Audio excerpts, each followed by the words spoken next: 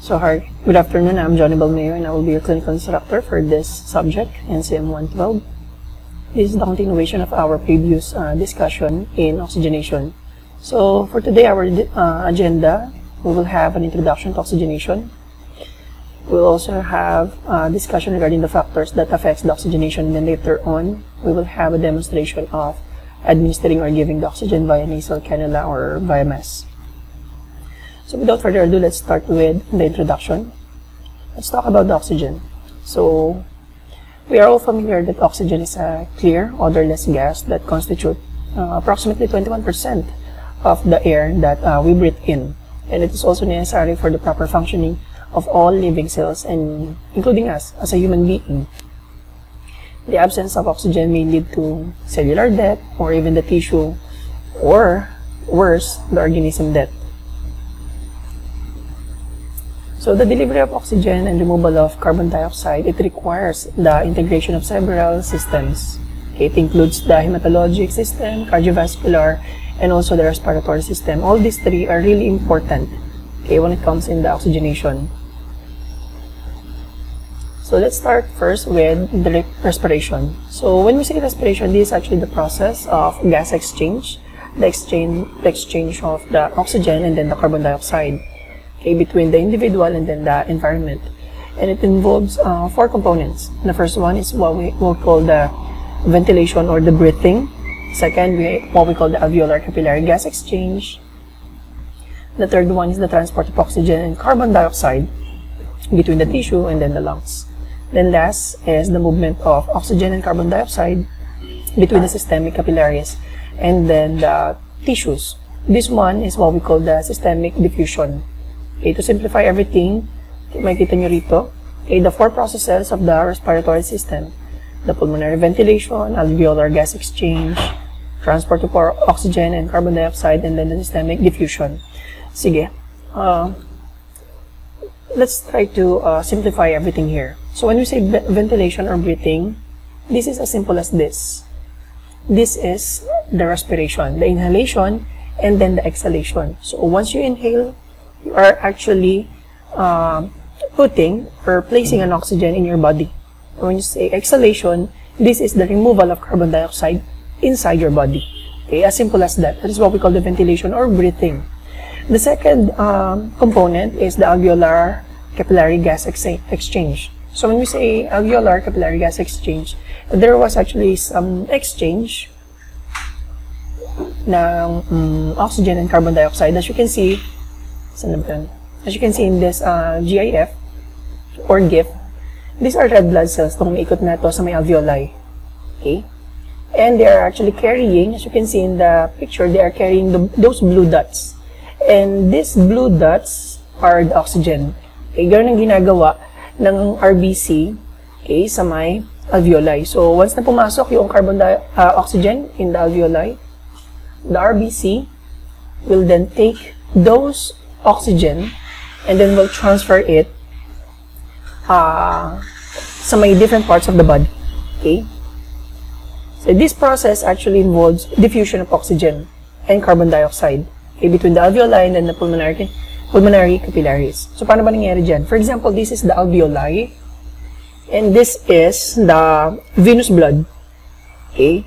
See, alveoli has a higher concentration of oxygen than kay uh, venous blood. So, mangyayari dito, since mas mataas ang concentration na to, okay, magkakaroon tayo ng process na tatawag nating diffusion. So, when you say diffusion, this is actually the exchange from higher concentration to lower concentration. Since alveoli has a higher concentration of uh, oxygen, eh, mangyayari dyan, pag, pum pag pumunta rito, dumikit si uh, venous blood, yung oxygen na nandito sa may alveoli, papasok ngayon dito sa may venous blood. As you can see here in the GIF. Okay? So, ang nangyayari sa RBC, ayun, kumukuha ng oxygen.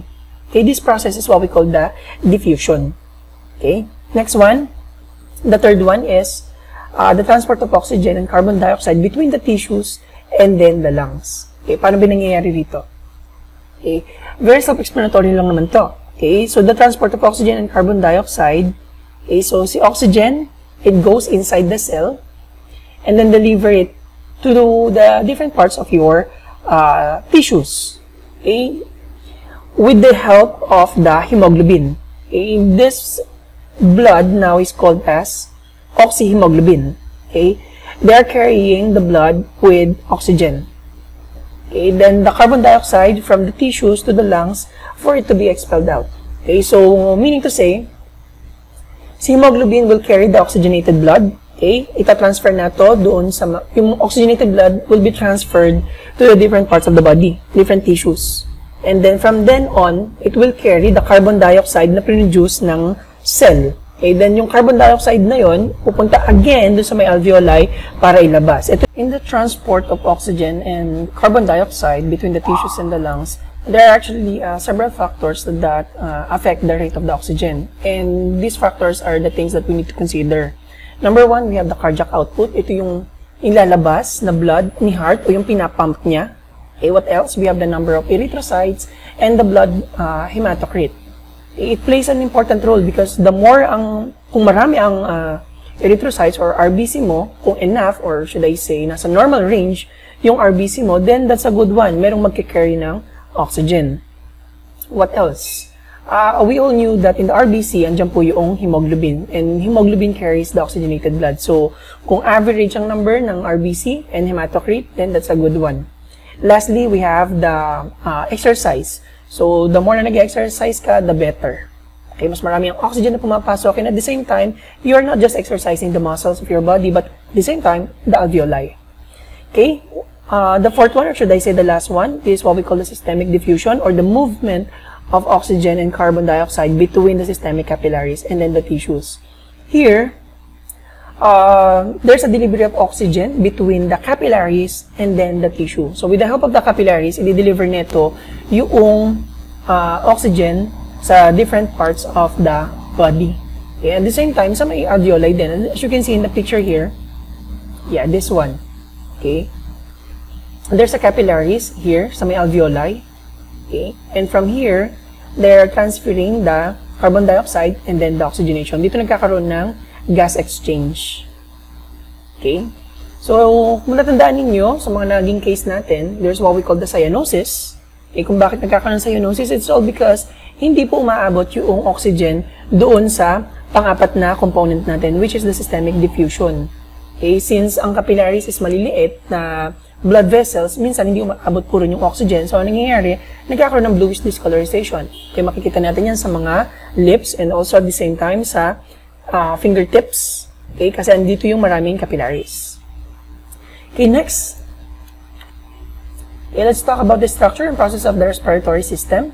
Okay, the structure of the respiratory system, familiar naman tayo rito way back in our uh, anatomy and physiology. They facilitate gas exchange and protects the body from foreign matter such as particulates and pathogens. Eh, kaya nga minsan kapag kumakain tayo, tapos yung pagkain, imbis na pumasok dun sa may esophagus, eh, nagkakamali ng pasok, mapasok sa may trachea.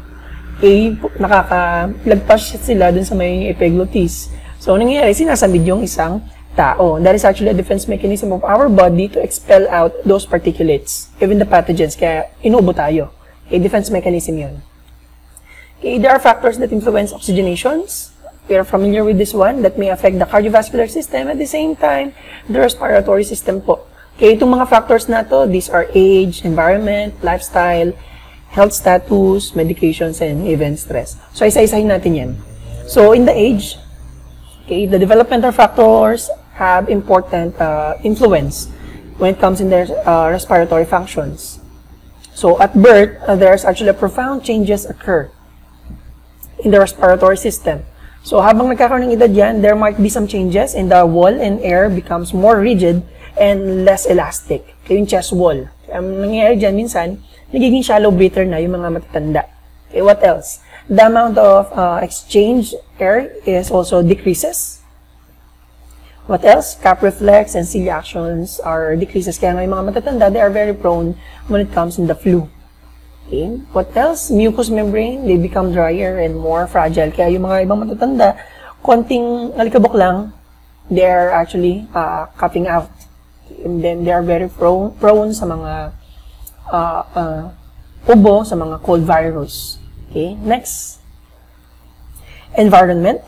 Okay, the altitude, heat, cold, air pollution, they may affect the oxygenation. And I already told you guys way back in our uh, health assessment na sa mga tao that are living in a higher altitude, okay, may possibility na iba yung number ng kanilang hemoglobin and hematocrit. Okay, I already told you the rationale behind that. And also healthy people who are being exposed to air pollution such as smog, what else? Secondhand tobacco smoke. Okay, they may experience some uh, stinging of the eye, headache, dizziness, and then, of course, coughing. Okay, sa mga tao who are living in a polluted area.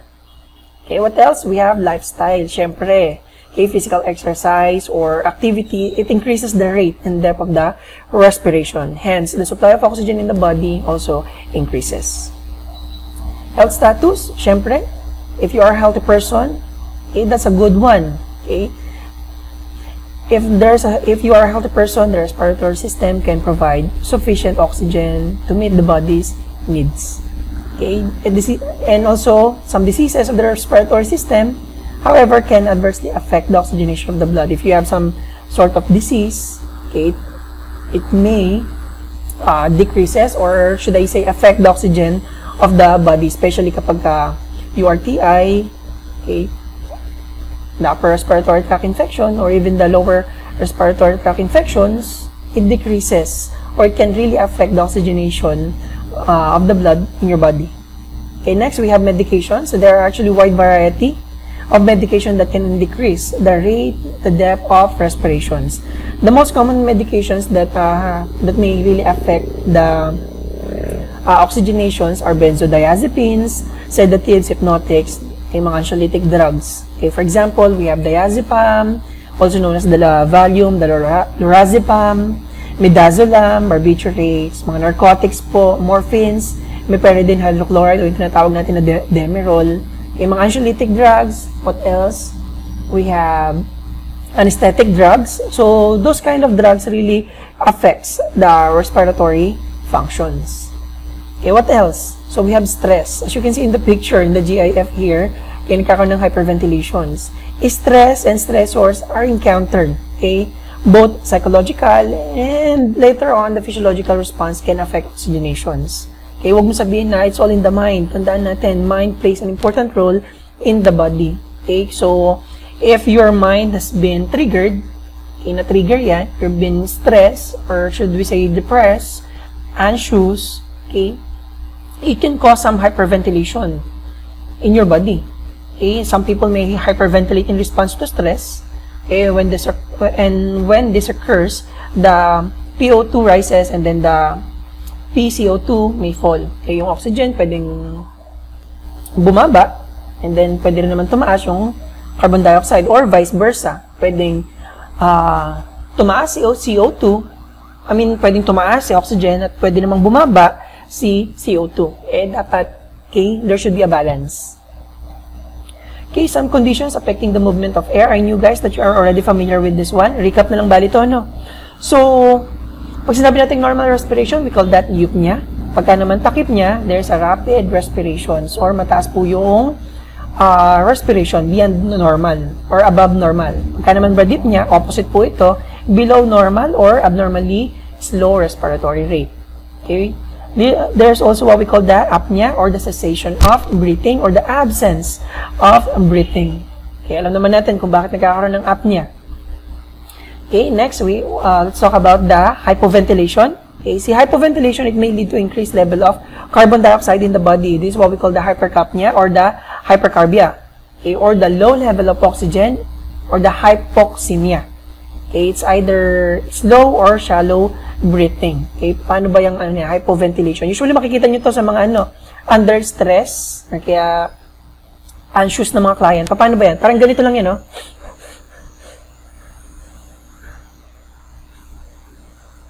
Okay, there's a slow. Pwede rin naman nagkaroon ng shallow. Okay, paano yung slow na yan? Yung iba naman, shallow breathing. Okay? Ah, hindi masyadong maabot yung oxygen doon sa may alveoli. Kaya humihinga na siya papalabas. Okay, inhalation. Inhalation, shallow. So, nagkakaroon na ng exhalation before pa umabot yung oxygen doon sa may alveoli. So, ano nangyayari? So, tumataas po yung carbon dioxide sa may katawan. The other one is hyperventilation. So, hyperventilation is the increase of movement of air into and out of the lungs. Okay, this is actually, uh, paano ko masasabi to? During hyperventilation, the rate and then the depth of respiration increase. So, mas marami po yung carbon dioxide na nai-eliminate. Okay, so mas marami yung lumalabas ng carbon dioxide during the hyperventilations. Okay, next. Other abnormal breathing patterns po, this is what we call the chain strokes respiration and then the Biot's respiration. So pagka sinabi nating uh, chain stroke respiration, okay, it is actually marked by waxing and uh, waning of respiration from very deep to very shallow with short periods of apnea. Okay, paano ba yan? Okay, usually makikita nyo kasi ito sa mga ano, eh, matataas ang ICP or the intra intracranial pressure or drug overdosage. Eh. Parang ganito yan. Uh, very deep and then magiging shallow. And then apnea. And then bigla na namang very deep. And then shallow. And then apnea. And then again. Okay, that is what we call the chain stroke respirations. Okay, usually makikita niyo po ito sa mga matataas po yung ICP or the intracranial pressure. Okay, sa mga drug overdosage din makikita niyo po yan. Then we also have the Biot's respiration. Paano naman yan? Si, siya, si Biot's respirations, uh, there's a shallow breaths and then it is being interrupted by apnea. Okay, shallow po yan. And then stop. And then shallow ulit. Then stop. Okay, that is the Biot's respiration. Usually, makikita niyo po ito sa mga pasyente natin na mayroong problema with the central nervous uh, system. Okay, nagkaroon ng disorder with the CNS. Okay, doon yung makikita itong mga Biot's respiration na ito. Okay, moving on. Uh, we have the orthopnea. I knew guys that you are familiar with this one. This is actually the inability to breathe easily, not unless i-reposition mo sila. Okay, or kaya naman biglang umupo. Okay, nahirapang huminga. So, ang gagawin mo dyan, itatayo mo siya. Okay, that is what, that is what we call the orthopnea. On the other hand, uh, dyspnea, from the word itself, difficulty of breathing. Okay, next, let's talk about oxygenations. So, when you say oxygenation, this is actually the addition of oxygen to any system, including the human body. Okay? Ito yung pag-add up ng oxygen. Okay? So, oxygenation may also refer to the process of treating the patient with oxygen. So, if we are treating a patient, gamit po ang oxygen, that is oxygenation. Or sometimes, it is a combination of medication or other substance with oxygen. With oxygen. Katulad sa katulad ng sa may operating room. So, operating room, so sa may oxygen, okay, sa may oxygen, isinasama po doon yung uh, anesthetic drugs. Okay, iba naman, using the uh, EP tube, may nakapasok po, okay, doon pinapadaan din yung anesthesia with the help, of course, of the oxygen. Okay, we call that the JETA or the general endotracheal anesthesia. Okay, next, let's talk about the oxygen therapy. So, si oxygen therapy, this is actually the treatment that delivers oxygen gas for you to breathe. Okay, kapag nahihirapang huminga, this is what you needed, the oxygen therapy. You can receive oxygen therapy from tubes resting in your nose, okay, by a mask, or the tube placed in the trachea, or windpipe. Okay, mamaya, pakita ko sa inyo yung picture niyan. Because there are some people na meron pong problema and they have to, uh, we have to insert, okay, here, okay, a tube. Okay, later I'll discuss that. Okay, this treatment uh, increases the amount of oxygen to your lungs receive and deliver to your blood. Okay. So, oxygen is being supplied in two ways. Okay, in the facility, okay, via portable system and via wall outlet. So, if the portable system, this is the cylinder or the tanks. As you can see in the picture, these are the portable system. Okay, ito dinadala natin sa mga facilities. Okay, very normal po na makikita nito in hospital. But nowadays kasi, there are, most of the hospitals, ang pinapractice na nila ay this one. Okay? This is the wall outlet system. As you can see in the picture. Okay, sana nakakabit po yung oxygen doon na sa may wall. This one is much safer than the other one, itong cylinder or the uh, tanks or the portable uh, system. Okay, this one is a lot safer. Bakit? Okay, meron na pong nagde-deliver ng oxygen. So, hindi na at risk yung patient na babagsakan. Hindi na rin po risk yung wall or yung healthcare provider na mabagsakan at mag-carry ng mga oxygen tank. Okay, all you have to do is just to uh, plug this one, the oxygen, in the wall. Okay, all you have to do is just to put a humidifier device and also the this one, the O2 Okay, what else? Okay, the dry gases dehydrate the respiratory mucous membrane. We are already familiar with this one. Okay, ang oxygen po kasi kapag oxygen alone lang, it can uh, makes the respiratory system, the the nostrils, okay, pwedeng mag-dry out po yan. So, we really needed a humidifying devices. Okay? Kailangan ng humidifier sa ganun, ma-prevent natin yung pag-dry up ng mga mucus in our respiratory systems. Okay? The humidifying devices add water vapor to the inspired air. So, thus, is an essential adjunct of oxygen therapy. Kaya hindi po mawawala po ito. Okay, the humidifier. Okay, what are the humidifiers? As you can see here in the picture, very common po na makikita nyo ng hospital, this one. Okay, These humidifiers prevent mucous membranes from drying and becoming irritated and loosen secretions for easier expectorations. Mas mapapadali kasi eh. Lalo na kapag ang pasyente natin may problema sila, URTI or uh, lower respiratory tract infection, upper respiratory tract infection, mas madali po ma-loosen up okay, yung secretions kapag ka meron tayong humidifier. Ito yung pinaka-common na makikita ninyo in a hospital. Pero meron din tayong ginagamit this one. Pre-pack po siya. All you have to do is just to remove the uh, the cup and then insert it in the meter. Okay, next.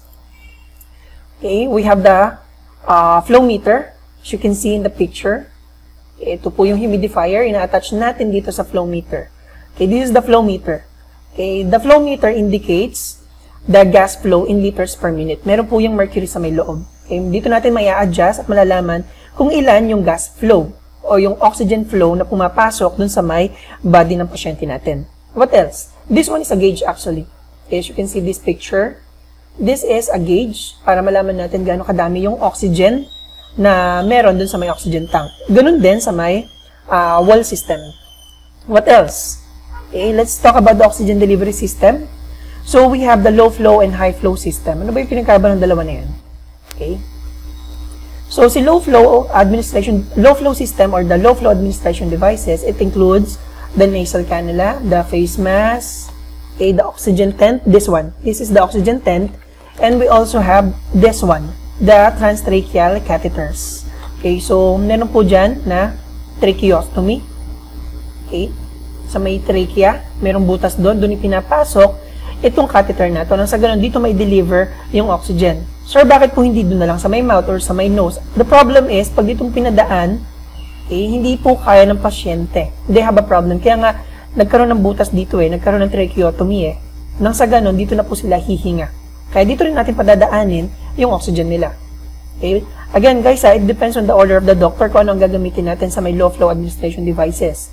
Kung nasal, nasal cannula, face mask, or the transtracheal catheter, or this one, okay, the oxygen tent. Okay? It depends on the order of the doctor, pero minsan kasi, uh, since we are capable of deciding naman kung anong gagamitin, kahit tayo mag-decide na lang and then let's uh, talk to the doctor na ito po yung ginamit namin. Especially in the emergency cases. Okay? Are we going to wait for the doctor's order? Doc, ano po bang gagamitin namin? Face mask, face, uh, face mask ba or nasal cannula? Okay, minsan tayo na mag-decide kung kaya naman natin. So this is the low flow administration devices or the low flow system. Okay, how about the high flow system? Kay high flow system naman, ito po yun. Okay? Si high flow, high flow system, it uses a Venturi mask with, with uh, large bore tubings. Okay? This is the Venturi mask. And as you can see, it uses a large bore tubings, meaning to say, mas marami po ang oxygen na may bibigay kay patient gamit ang high flow system. Uh, contrary dito kay low flow administration devices or the low flow system, eh, konti lang may bibigay na oxygen. Okay, in the high flow system, we are using this device, the Venturi mask. Okay, isa-isahin po natin. The nasal cannula. As you can see in the picture, ito yung pinaka-common na makikita ninyo in a hospital eh. Okay, the nasal cannula or the nasal prongs. This is the most common, inexpensive device that used to administer oxygen. And as for me, this is the most, most convenient uh, cannula. Or should I say device. Bakit? The patient can able to speak freely. They can able to eat also with the with um, cannula attached to them. Unlike po dito kay face mask. Kay face mask, syempre, hirap magsalita ang pasyente at, at hindi rin po syempre makakakain. Well, of course, there's a pros and cons that we need to consider for this one. Okay? Katulad dito kay nasal cannula. Kay nasal cannula, about uh, 20, 20 to 40% lang ang may, may bibigay ng oxygen. Bakit? Syempre, may maaksaya. Okay? Kasi continuous po ang paglabas ng oxygen. Unlike dito kay face mask, okay, yung oxygen talaga pumapasok po doon sa may uh, respiratory system ng pasyente natin. About 40 to 60% na pumapasok na oxygen kay client. And as you can see, meron pong butas, parehas na, parehong gilid. Para sa yan? Okay, para po yan sa may carbon dioxide. Para po pagka huminga yung pasyente, nag-exhale, may lalabas din yung carbon dioxide. What else? So we have the reservoir nasal cannula. This one is also called, called the oximizer. Okay, bakit po siya tinawag na oximizer or conserving devices? So, kapag ang client nag-breathe in or nag-inhale, dun lamang lalabas yung oxygen. So, kung hindi po siya nag inhale walang lalabas na oxy oxygen. Ganun kaganda po ang oximizer. So, meaning to say, 100% po yung pumapasok na oxygen sa kanya. Kasi pag nag-inhale lang siya, dun lamang magkakaroon ng oxygen. Okay, here are some examples of the cannula. So, in the first picture, we have the nasal cannula. Here, we have the mustache reservoir nasal cannula. Okay, reservoir cannula po yan. Okay, medyo parang mustache, kaya siya tinawag na mustache. Okay, meron kasing cylinder po rito yan. Okay, para sa humidification ng oxygen din. Okay, the other one, this is what we call the pendant reservoir nasal cannula. Okay, so oximizer din po itong dalawa na to. Next, This one, this is the non-rebreather mass. Okay, bakit non-rebreather? As you can see here, meron pong plastic. Okay, non-rebreather mass. And then this one, of course, familiar na kayo. I already told you, this is the Venturi mass. Okay, high flow system po ito. Okay, next, let's now talk, uh, let's now have a return demonstration, okay, of the administering oxygen via nasal cannula and via mask. So these are the checklist. So we have here the goal, equipment, and then the implementations. Okay, I'll show you a video na lang. in my video. Sa ganun, mas madali po sa atin ang discussion. So, for now, this is the end of the slide for the uh, discussion ng oxygenation. The main goal here is to make the patient exhibit an oxygen saturation level uh, within the normal or acceptable parameters. So meaning to say, once na ma-achieve po natin yung normal oxygen saturation ng client natin, then our goal has been met. Okay, how about the equipment na kakailangan natin dito? We have to check for the oxygen delivery device. High flow or low flow ba ang gagamitin natin? What else? Oxygen tubings. For this procedure, already prepared a nasal cannula. Also, I have here a mask Okay? What else? Uh, we're also gonna need a humidifier. I already discussed it to you. What else? Oxygen saturation. Sa may wall ba? Or are we going to use the tank? What else? Oxygen flow meter. Para sa ganun malaman natin or ma-measure natin kung gaano ba kadami or kabilis ang ibibigay natin ng oxygen sa may pasyente po natin. What else? Mm, ano, we also gonna need an appropriate room signs. The no smoking sign para po sa may room ng client natin. Okay? How about implementation? Well, you have we have to bring the necessary equipment in the bedside of our client. So, okay, I have here the nasal cannula and, as I've told you, the mask. Then, perform hand hygiene. Okay, hand washing. Then, identify our client. Hi, sir. Good afternoon. I'm Johnny Balmeo. May I know your name, sir? The name of our client is Juno. Okay, I already discussed it to you that there are different ways para ma-check po natin ang identity ng our client. We can simply check the chart of our client. We can also check the door tag, the bed tag, or we can also check for the wrist tag of our client. Or yung pinakamas madali, we can just simply ask our client. What else? Close the curtain and or the doors if necessary. Again, if necessary. Or we can simply ask our client kung okay lang ba na isara natin. But, okay, don't forget, wag po natin ilalak yung pintuan ng pasyente natin. Okay, what else? Uh, explain to our client what we're going to do, why is it necessary, and how our client can uh, participate in this procedure.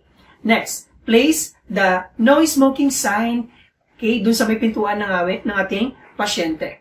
Okay, what else? Connect the nasal cannula or the mask with humidification and adjust the flow rate as ordered by the doctor. Pero usually guys, kung walang order si doc tapos nag-manifest ang client natin na nahihirapan silang huminga at bumaba ang kanilang autosat, tandaan, we can do or we can perform administration of oxygen even without the order of the doctor.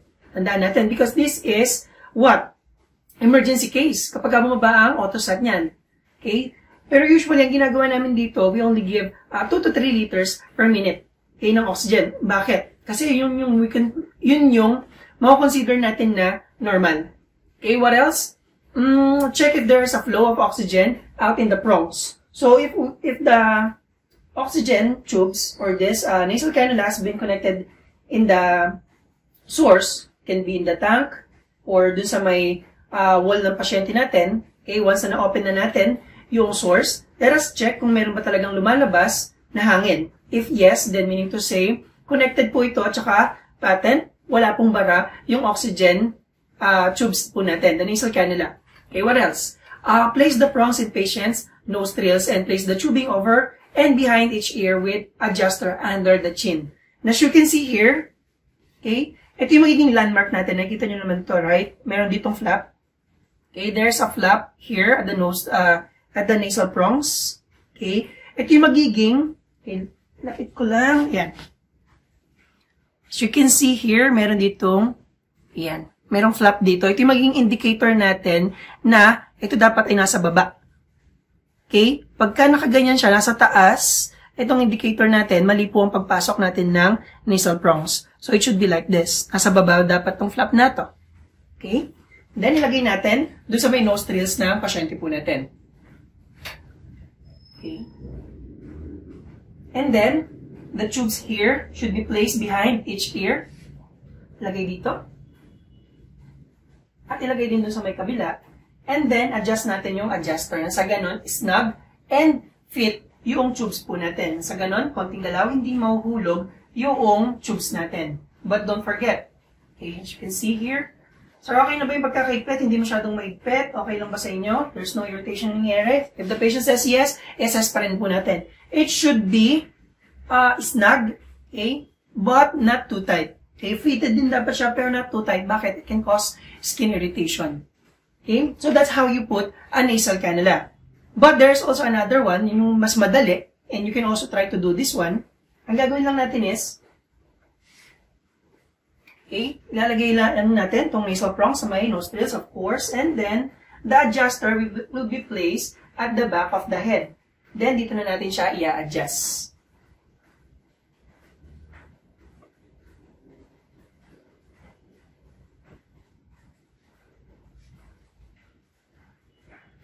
Okay? We can ask our client, Hey, sir, okay lang po ba? Wala po bang, uh, hindi po ba masyadong masikip? Is it not too tight? Okay lang po ba sa inyo pagkakahigpit ng ating nasal cannula? The patient says yes, then we're good to go. That is another way to place the nasal cannula. Okay, so how about the mask? Okay, paano naman maglagay nitong mask? I'll just use maybe this one bilang ng tube na nakakabit. Okay, madali lang naman to. Okay, I'll just remove first this one. Ang pag-remove na to, syempre, tanggalin, uh, luwagan nyo lang yung adjuster. Nasa ganun, hindi mahirap tanggalin sa may pasyente natin. Okay? Ang pagkakabit lamang nitong uh, mask is, uh, you have to ask your client to uh, close the mouth muna. Nang ganun, mag-fit po mabuti yung mask. Okay? Then, ilagay lang natin tong tali o tong uh, adjuster sa may likod adjust natin, and that's it. Good to go na po yan. Okay? Dapat nasa ibaba yung tube. And then as you can see here, meron po itong metal. Okay, this metal will serve uh, to fit this one sa may nose bridge. Okay, this one. And as you can see rin, sa mga uh, oxygen mask, meron pong butas yan sa may magkabilang gilid. Okay, na sa ganun, lumabas din po yung carbon dioxide na inilalabas ng pasyente natin. Okay? What else? So, once na i-place na natin yung uh, nasal cannula or the mask to our client, we have to encourage our client to breathe in sa may nose with the mouth closed. Okay? Try nyo po huminga, sir, gamit po ang ilong, sarado ang bibig. Okay? Kung kaya ng pasyente yon, then we're good to go. Okay? Para saan po ba yan? Para ma-ensure natin na talaga na, na humihinga po siya dun sa kanyang ilong. Okay, what else? In car, uh, reassess the patient's uh, respiratory status. We can check for the lung sounds. Pwede tayo dyan mag-check. We can auscultate, we can uh, palpate, we can uh, percuss, okay, the uh, the chest of our patient. Nang sa ganun, nakita po natin the status of our client. The respiratory respiratory status, I mean. Okay, uh, what else? Mm, remove the PPE, kung gumamit man tayo, then perform hand hygiene, and then document the procedure. You have to document kung ano ba yung ginamit mo sa may pasyente mo. Is it the nasal cannula or the mask? Okay? Na-discuss ko na rin naman sa inyo kung bakit uh, nasal cannula ang magandang gamitin or mask ang magandang gamitin. Okay, na-discuss ko naman na sa inyo yan. What else? Um, aside from the documentation addition lang, once na naginamit na po natin yung mask or the nasal cannula, be sure to clean this one. Okay? According to Cashier, if I'm not mistaken, you have to clean it every 8 hours. Okay? And then be sure na uh, patent, okay, meron, uh, wala pong blockage dun sa may, uh, what do you call this one, the nasal prongs. Okay? And be sure na linisin natin to with the glove hands. Then, reassess the patient's skin. Baka naman kasi nagkakaroon na ng irritation. Check for the redness or pain or some sort of irritation sa may skin ng pasyente natin kung saan nakakabit yung nasal cannula or yung face mask natin. And that's it guys. As simple as that. Ganun lang po kadali ang pagkakabit or pag-administer ng oxygen sa may pasyente natin via mask or via nasal cannula. That's it guys. Thank you.